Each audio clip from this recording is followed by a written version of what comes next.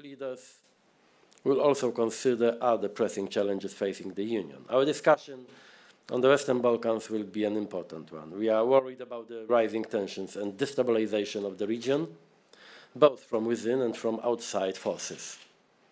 The High Representative will report on her trip to the region last week.